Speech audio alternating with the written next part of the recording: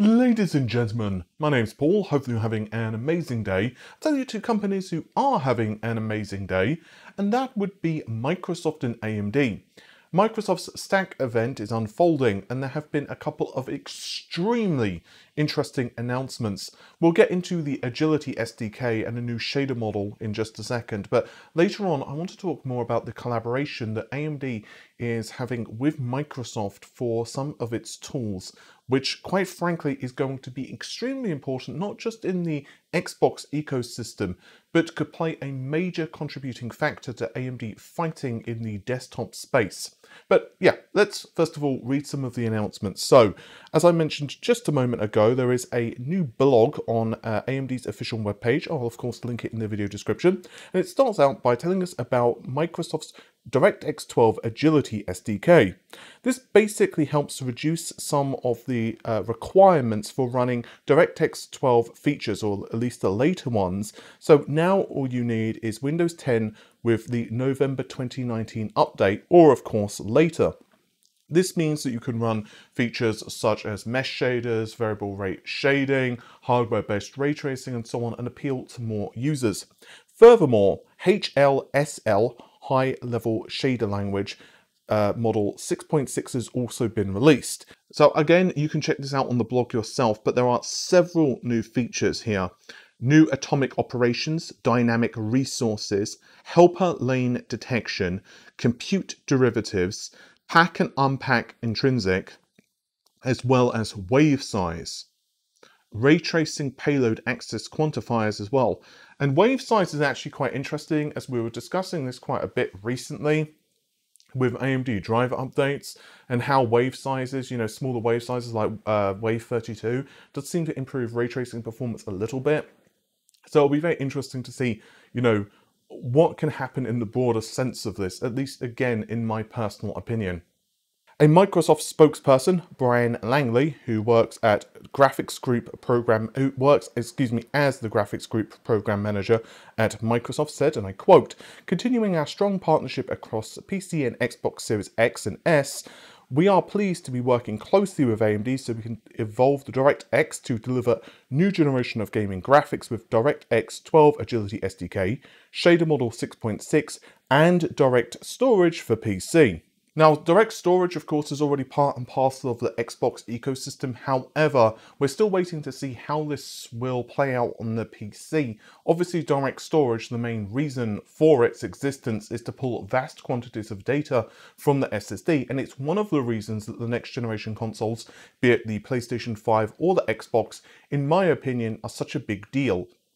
Sure, more T-flops, faster CPUs and all of that stuff is great, but ultimately one of the things that's been holding back the previous generation, at least in my opinion, and from talking to developers, although it's freely well spoken about, and that is just simply pulling data from the drives. Obviously the Xbox uh, One and the PlayStation 4, they use slower mechanical drives, and yeah, it just obviously meant you had seek times for data, which was particularly a problem for smaller files, and yeah, even larger files, obviously, not only do you need to pull that data from the drive itself, but you need to decompress it. With the Xbox and the PlayStation, you've now got uh, dedicated decompression blocks, so it means that you're freeing up a ton of CPU resources.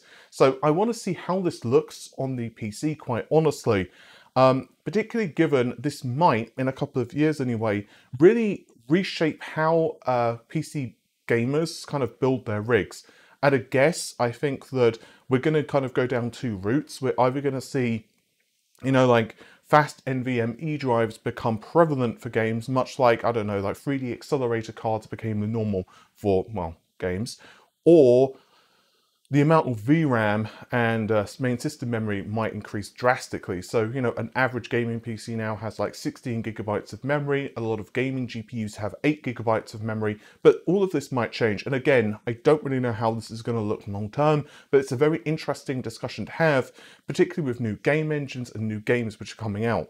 Now, I have to say that the next thing that I'm going to be talking about, or things, as there's quite a few, are perhaps some of the more interesting out of all of these announcements. And that's saying something given that we're talking about a lot of cool stuff. In fact, I actually got a couple of emails from AMD themselves pushing this from their PR teams. And you know what? More power to them because this stuff is really cool. And it comes down to optimization for the console as well as the PC.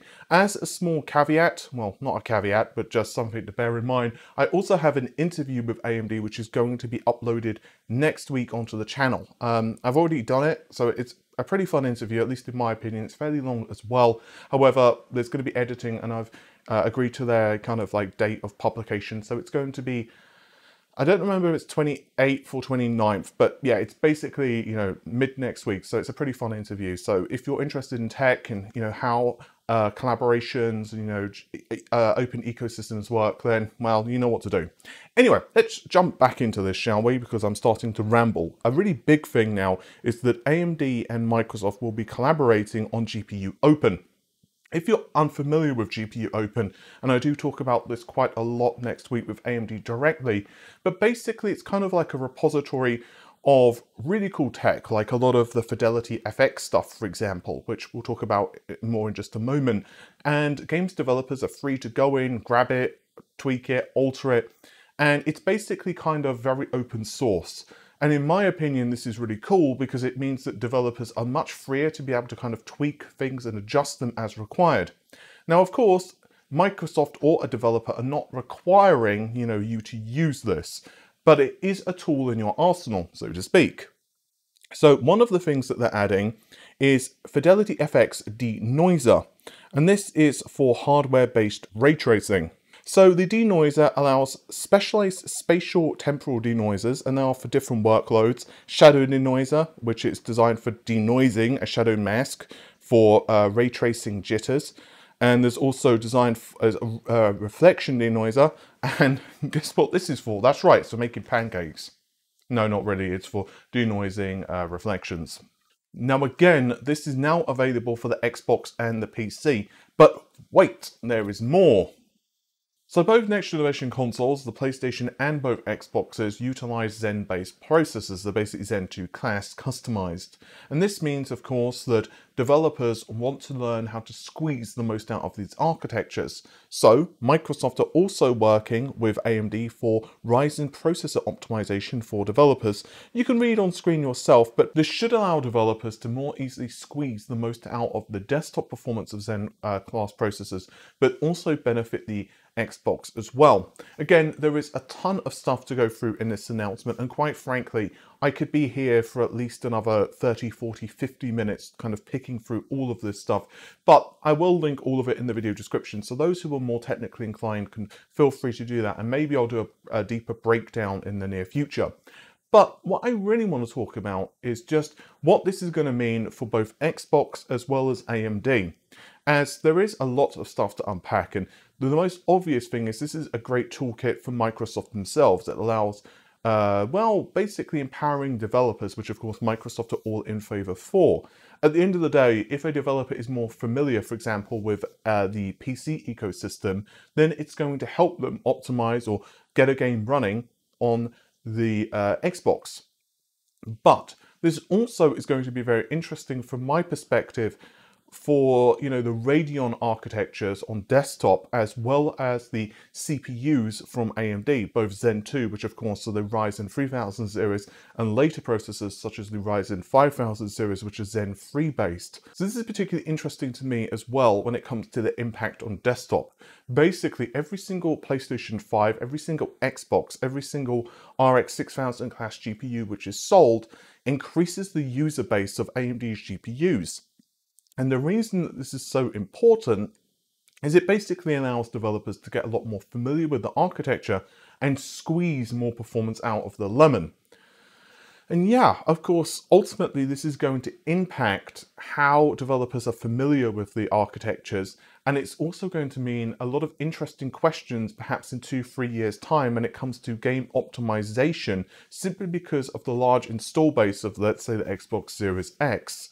I'm going to be very interested to see how this actually ends up playing out with uh, their competition with NVIDIA, for example. From what I'm hearing, we're going to put another video on this quite soon. Lovelace is a very impressive architecture, but Yeah, RDNA 3 is faster. There is no bones about it from what I understand. In terms of traditional rasterization performance, it is faster than Lovelace. And this is simply because it's got two chiplets, 160 compute units total.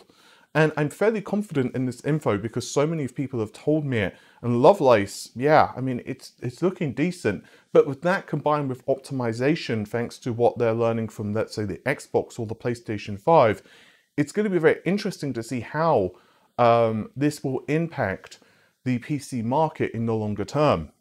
In my personal opinion, we're looking at some major shifts upcoming in gaming. And you know, I recently put out the video of Epic and Sony's collaboration, and I'm more, you know, confident in that than ever. That's all I'll say on that topic because I don't want to kind of mix the streams or the beams or whatever.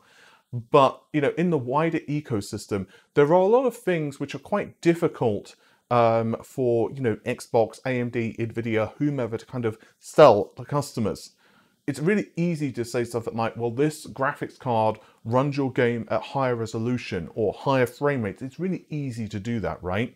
But just try imagining being a PR guy or girl and writing an elevator pitch, which is three seconds of perhaps someone who isn't so technically inclined.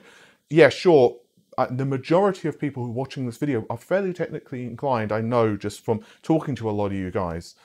But, you know, this is not the case for the average person. And I don't mean that disrespectfully. Everyone has, you know, their, their strengths and weaknesses. Like if I, I don't know, want my bo uh, boiler maintained, for example, I'm just like, okay, well, I'm going to be calling, you know, some a specialist for that. Everyone has, you know, their strengths and their weaknesses. And it's quite difficult to kind of explain some of the, the major advancements we're looking at. I discussed uh, just recently too, you know, Microsoft's push for DirectML and how this framework is going to really fundamentally shift how, uh, and this is, you know, ML in general, not just Microsoft's contribu uh, contribution to it, how it could really shift games. But yeah, I think that there's going to be a lot of cool stuff which is upcoming, and some of it isn't quite as tangible maybe as saying, well, look how many frames per second this is, or 4K 60 or whatever, particularly given even native resolution now is losing some of its meaning. It is more now around pixel quality, response time, and just the stuff you know, the interactivity of a game, the level of physics, the, the intelligence of AI, you know, combatants or whatever. There's a lot more to it. And I think there's a lot of cool stuff which is going to be emerging. Anyway, I am rambling, and so I'm going to let you all go. Thanks very much for checking out the video. Take care of yourselves. Have an amazing day. Bye for now.